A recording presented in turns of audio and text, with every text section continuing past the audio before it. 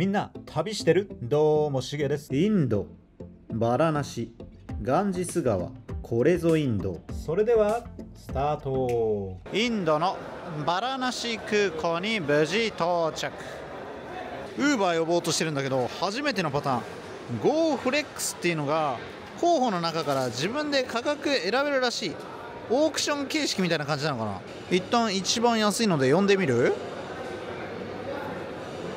マッチしたんだけどドライバーどこにいるのかな？ウーバーピックアップゾーンって書いてあるからこの辺で拾えるっぽいんだけど。ドライバーとメッセージなんつうかやり取りして結局落ち合うことができたんだけど周りにいたタクシー運転手っぽい人がウーバー not allowed ウーバー not allowed っつってまあ多分騙そうとしてきたんで仕方しました。だってウーバーピックアップポイントってわざわざ書いてある看板のに許されてないわけねえだろ。もうねインドではね向こうから何話しかけられても信じない。無視する。それに限ります。無事ウーバーで出発。約26キロ。30分以上1000円以下で走ってくれるようです。なぜか空港出るときパーキング代払えって言われた。60ルピーらしいんだけど50ルピーしかないって言ったら10ルピーはドライバーが払ってくれましたにしてもパーキング代ってこれ普通俺が払うんだっけ？ウーバーさん。車は今まで乗ったインドのウーバーの中では一番まともな気がする。そもそもシートベルトをちゃんとつけられたの初めてじゃないかな。今回の車もインドでおなじみマルチスズキのスイフトだそうです。道沿いずっとインドカラーにライトアップされてます今回の宿ホテルシュガースターズインに到着。チェックインしました。スーペリアクイーンルーム。一泊約1万円。今のところ問題なく過ごせそうな部屋ですね。こちらの絵はバラナシといえばのガンジス川ですね。バスルームも清潔でいい感じ。シャワーはレインシャワーのみ風呂桶ついてるからここにお湯溜めて自分で流すことができるそうです。ちょい小さめだけどデスクもあってまさかの Wi-Fi 高速なのが嬉しいね。まだ間に合うかな。近所に一杯だけ飲みに行きたいと思います。想像よりだいぶパーリーなところだった。インディアンビールのビラ91ホワイト。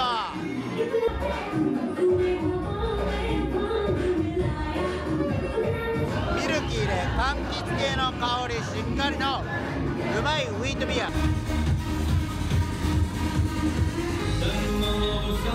爆音でうるさすぎるので外のテラスエリアに出てきました。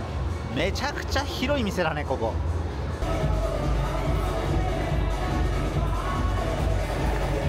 バーはこのビルの最上階に入ってました。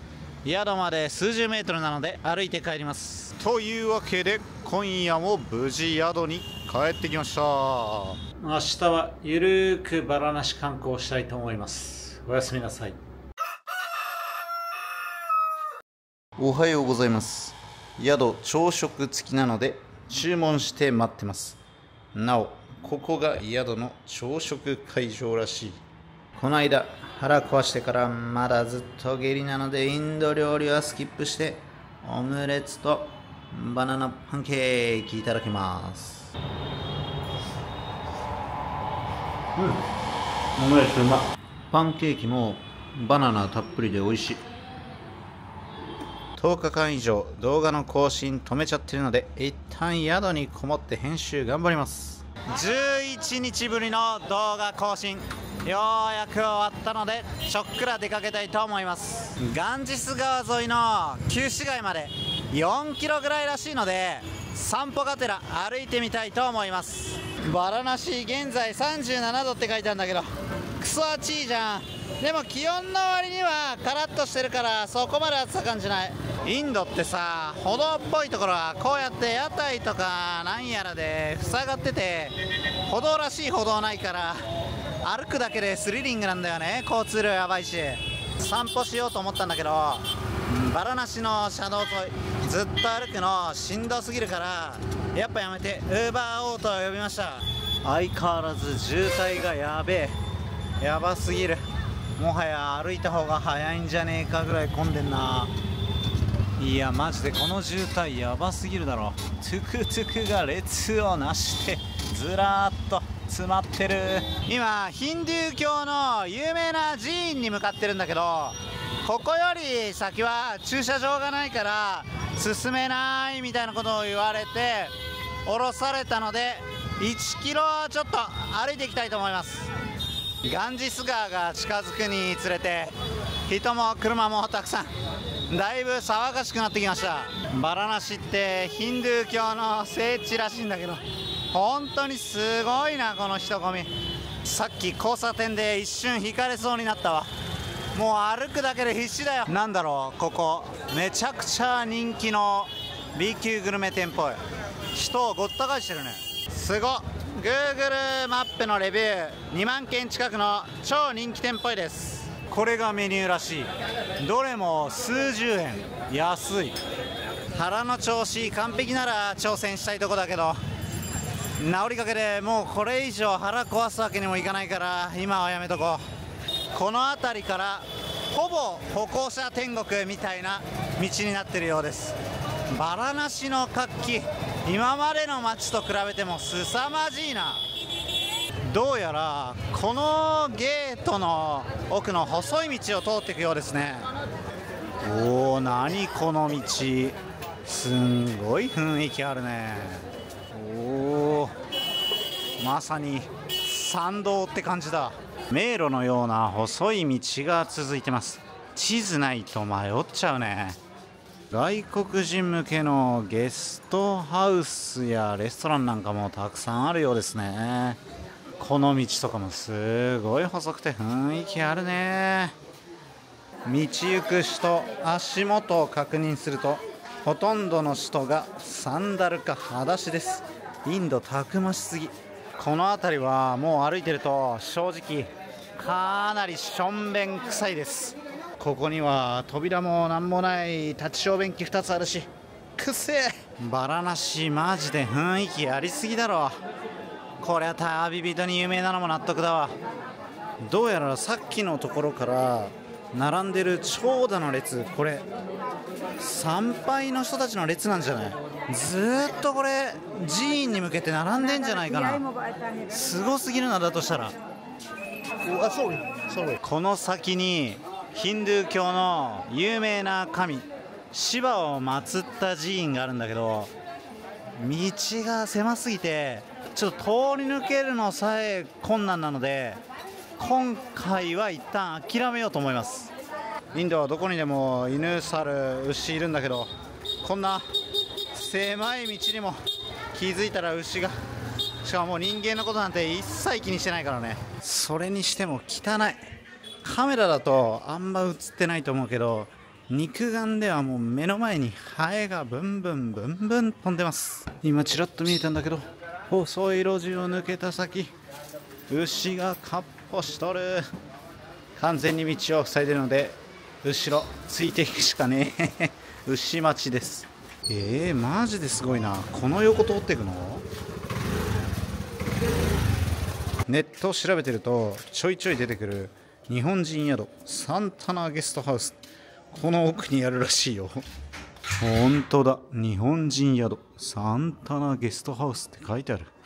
こんなところに日本人宿あるんだね。初めてのインドで不安な人とかこういうところ泊まりに来るといいかもね。もう少しこの迷路のようなバラなしの旧市街を散歩していこう。噂通り牛の糞もそこら中に落ちてるので歩く時は下を見つつ気をつけてね。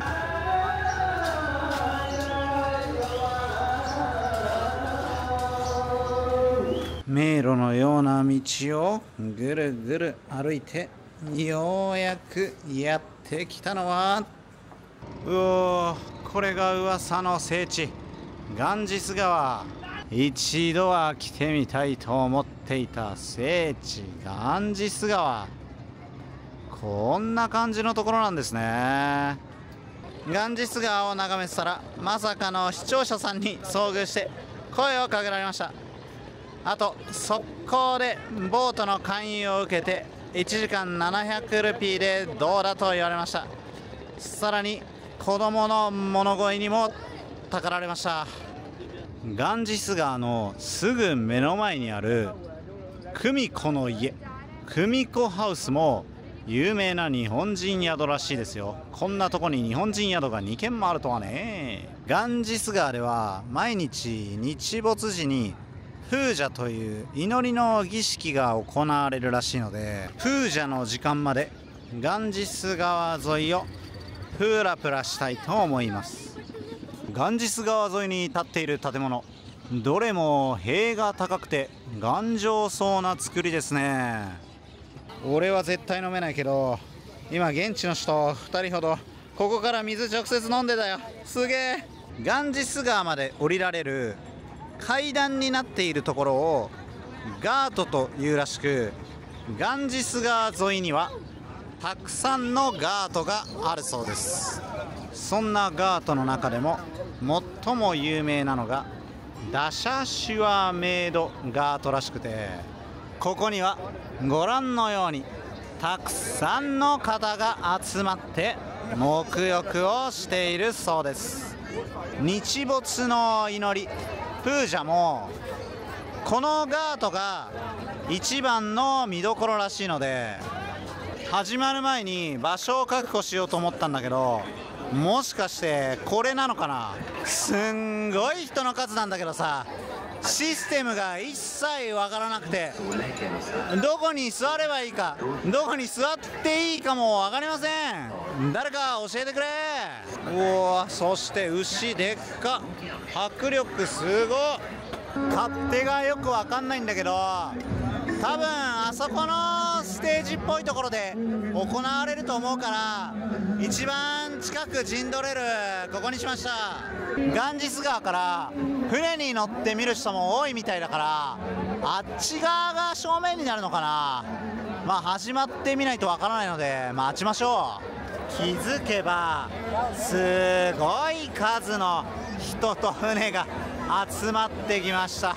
熱気がすごいわ。ごい人これ結局場所取りにルールとかあんのかね？もうすぐ始まるのかな。徐々に準備が進められてるみたいです。さっきまで座ってた目の前の人たちが始まる直前に立ち始めて結局前が見えなくなる。これがインドカルチャーインドクオリティ。いやマジでカオスすぎる。すごい人の数ですこれがバラナシの夜。いや現地の人ね、はい、元気です。みんなこんな感じで。楽しんでますほとんど身動きができないほど狭いスペースでずっと立ってるから。足がつれ。早く始まってくれ。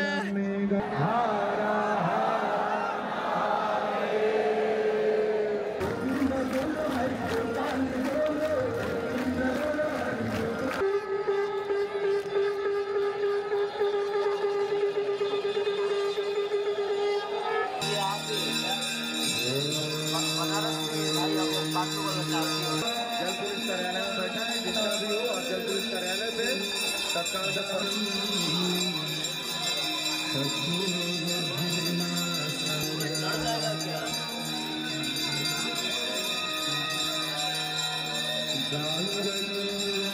Manohar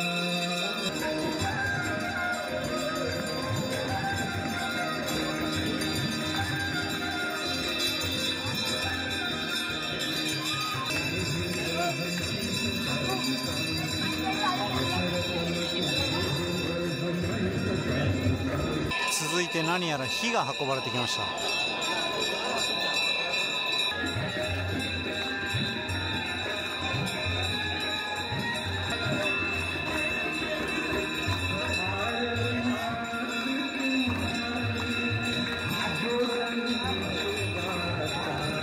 あの方が寄付みたいなのを集めていて皆さん熱心にお金を置いているようです。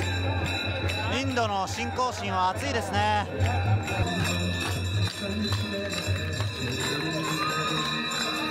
ずっと狭いところで同じ体勢できつかったのでポジションを変えてみました。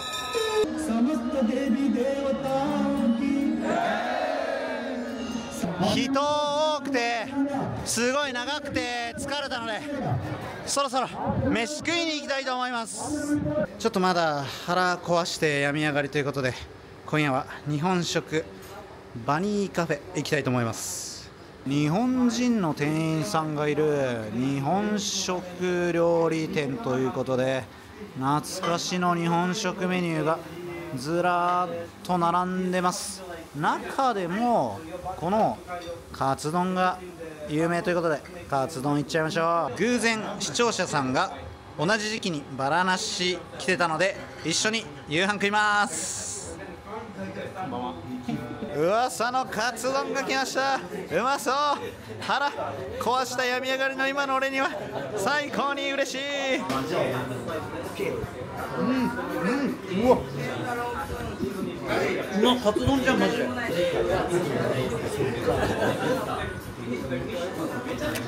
しっかり日本のカツ丼の味でめちゃくちゃうまい。てか超熱々ハフハフです。遅れて味噌汁と漬物も来ました。これは嬉しいね。ジャイプラグジャイプラグ結構ああるんですねそんなサントリーもインディゴーでも平気で1万5000円とかしますよね。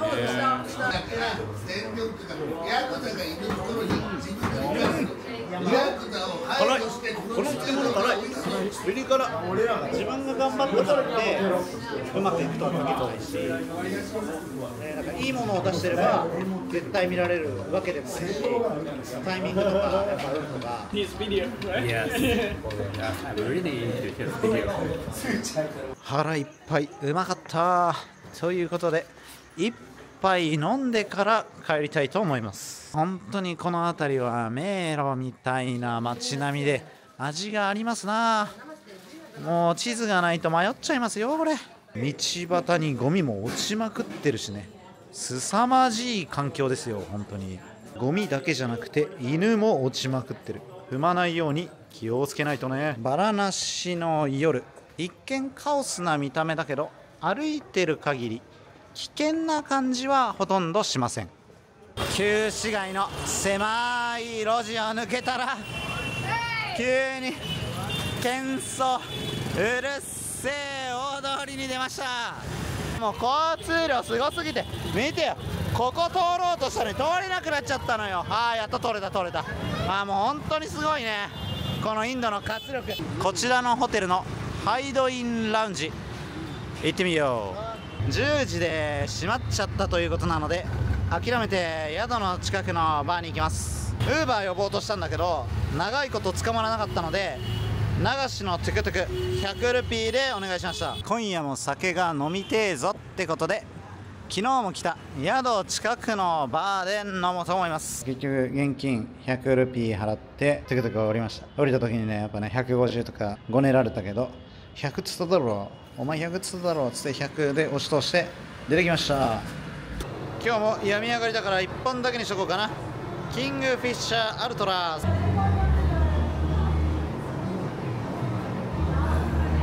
あっさり爽やか系なんだけどキレのあるビール。悪くないね。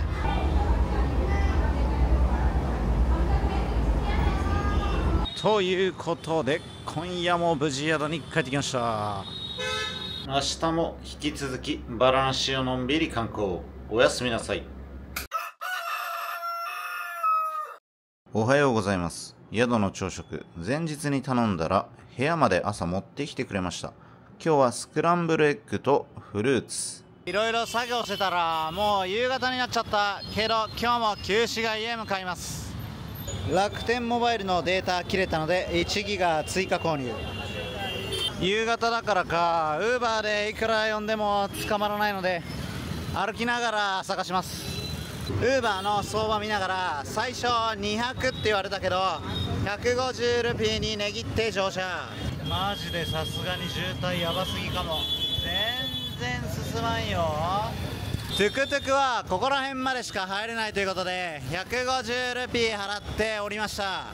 今日も京都って何ですか？このとんでもない交差点は。お抜けていく。この辺りはさながらバラなしのスクランブル交差点といった様相。バラナシの街並みは味があって不思議な魅力感じるんだよね。どこまで行っても人人人。マジで何なんだこの街。いやもうやばすぎるって。Google マップで10分って書いてあるとこ歩くのに30分ぐらいかかっちゃうんじゃないこれ。毎日生きるだけで精一杯。それがインドバラナシ。目線の高さだと。人多すぎて。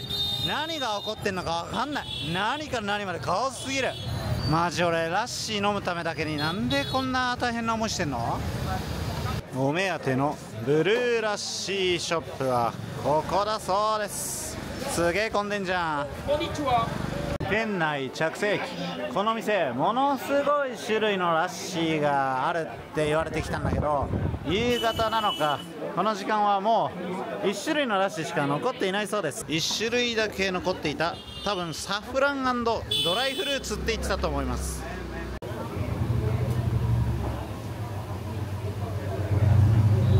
プーンも添えてあって飲み物というよりは食べるらしい。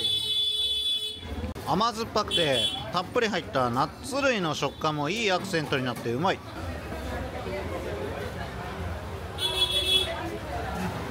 店の人がすぐ近くに火葬場があると教えてくれたので行ってみよう。また迷路のような細い道に迷い込みました。もうそこら中に犬落ちてんのよね。先ほども実は火葬場に運ばれているというご遺体がラッシー屋の前を通り過ぎていきました。ヒンドゥー教徒の方々にとっては。ここで火葬され位牌をガンジス川に流されるのが最上の幸せなんだそうです。火葬場見てきました。今まさにこの裏の火葬場でご遺体が焼かれています。あの奥の大きく火が上がっているところが火葬場組んだ薪の上にご遺体を置いて藁に火をつけ火葬していました。火葬中にもご遺体が次々と運ばれてきました。バラなしでは随分死を身近に感じます。少し前に日没したところかな。これから日没後のガンジス川沿いを少し歩いていきます。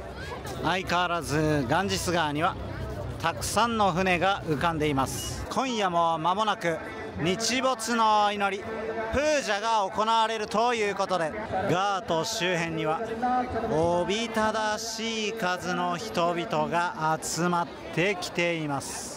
これはすごすぎる。向こう側に行きたいんだけど通るのもままならなそうだね。人1人分が通りきれるぐらいの道しかもう空いてなくて俺が渡りきったぐらいでもほぼ道も閉じちゃってます。あと10分ほどでプージャは始まりそうですが昨日見たので今夜は見ません。儀式の舞台あそこなのにガンジス川正面だけじゃなくてずっと脇の方まで船で埋め尽くされてます。船乗る場合も早めの船に乗らないとほとんど見えないところに止められちゃいそうだね。と思ったらまさかのもう一つ別のステージが右手にあった。左手のステージと同じなのかな？何か違うのかね？プージャのステージ前を抜けてやっと少し静かになったガンジス川沿いを歩いていきます。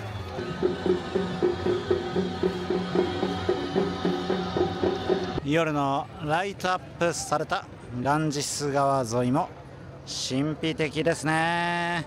腹減ったのでこの迷路のような道を抜けて夕飯食いに行きたいと思います。ちょうど道の途中に有名なラッシー屋ババラッシーやったから一杯飲んでこう。残念ながらババラッシーちょうど終わってしまったところのようなので予定通り夕飯食いに行こう。相変わらず油断すると道の真ん中に牛がいてびっくりさせられます。また帰り道これだよ。どうなってんだよバラなしインド人口多すぎだろ。腹回復したからこの間通った激混み人気店挑戦してみようかなって思ったんだけどこの人の数やばすぎだろ。システムも分かんなすぎるから諦めます。道を歩くのすら大変すぎる。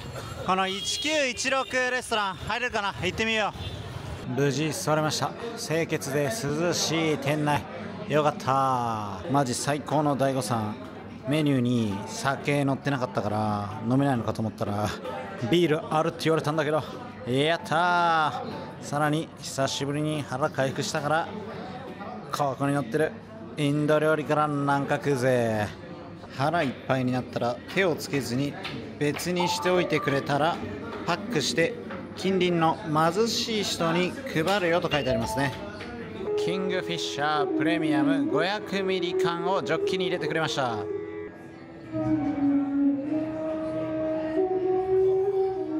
バラなしの道激混みで歩いてるだけでもめちゃくちゃ汗かくからビールがしみる。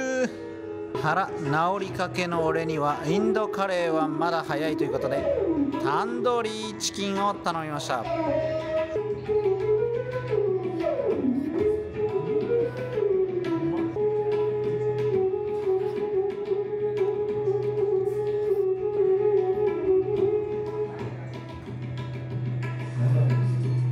スで程よい辛さに味付けされた炭火香る柔らかいチキン。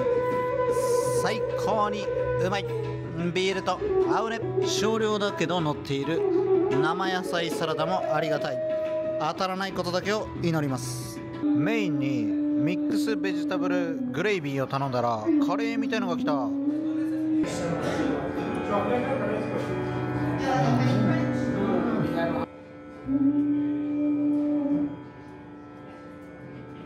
野菜驚くほどたっぷり入ったカレーが来た。甘口中辛辛口どれがいいって聞かれて中辛って言ったら結構スパイシー。辛めだけど食えないことはないぐらいの絶妙な辛さのカレーが来ました。うまい。一緒に頼んだバターロティに乗せて食べてみよう。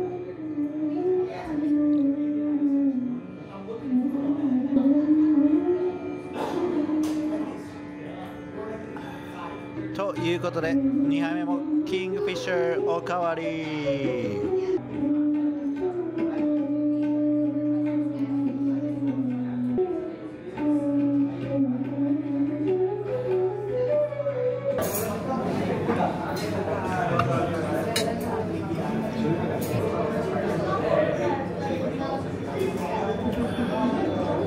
久々のインド料理うまかった。腹いっぱい。ごちそうさまでした。明日は早起きする予定なので宿に帰ろうと思うんだけどこの辺りこんな感じの状況だからちょっと歩いてから拾おうかね。ずっとトゥクトゥク捕まんなくて歩いてるんだけどこのままだと歩いて宿までに帰ることになりそうだぜ。かなり歩いて。ようやくウーバー捕まりました。長かった。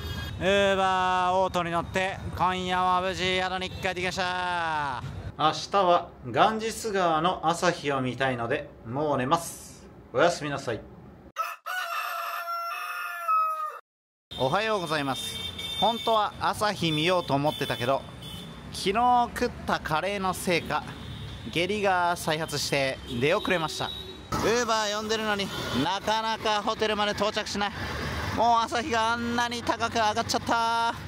最初に呼んだウーバーが全然来なくて結局キャンセルされようやく2台目のウーバーに乗車しました。打車シュワメイドガートと並んで有名なアッシガートにやってきました。宿の説明によると朝はアッシガートが有名だと書いてあったので来てみました。ということで到着しました。これがアッシガート。もうだいぶ日上がっちゃったけどまだ7時前ということで朝日と言っていいでしょう。楽器による演奏も行われています。ガンジス川の水面に映る朝日。神秘的な光景ですね。見晴らしすごくいいです。ガンジス川には相変わらずたくさんの船が浮かんでいます。朝からガンジス川に入って沐浴している方もいますね。インド人にとっては神聖なガンジス川ですが日本人にとっては不衛生すぎて沐浴をするとほぼ必ずと言っていいほど病気になるためやめた方がいいと言われています。まあそれでも挑戦する日本人もたくさんいるけど今はただでさえ俺体調崩してるからさすがにやめときます。ゴミや糞尿遺体などありとあらゆるものがこの川に流れているらしいですからね。主なガートが説明されている案内板のようなものがありました。今いるアッシガートは南から2番目のガート。有名なダシャシュアメイドは39番目のガートだそうです。ガートは80番まであり6.9キロにわたって続いているようです。それではアッシガートから北に向かってガンジス川沿いをふらふら散歩してみますか。おおここは大規模な沐浴場のようですね。たくさんの人が沐浴してます。みんな頭まで使ってバシャバシャやってます。インド人の免疫力には絶対かなわないね。そして地味に思うのがここ結構高さあるのに柵とか何もなくて落ちたら危ねえのよ。歩く時気をつけてください。ここも大きな沐浴場だ。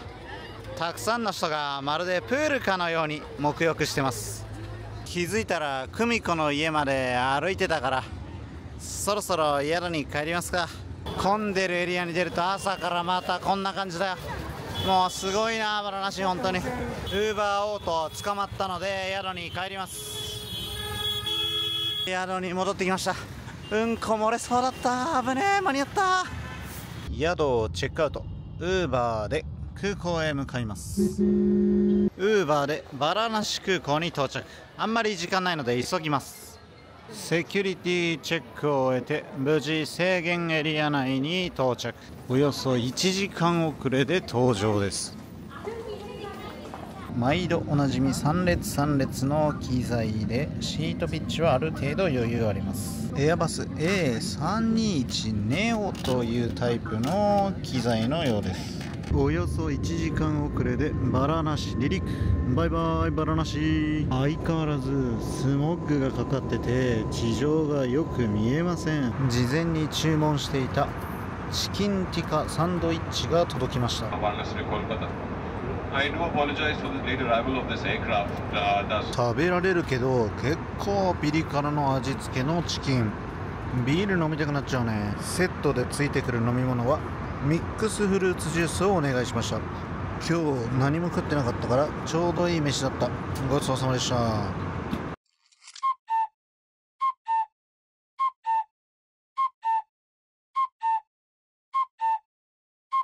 まもなくインド東部のコルカタ。コルカタ空港に無事着陸。インド東部の町コルカタ空港に到着。今回はここまで。次回コルカタ編。お楽しみに。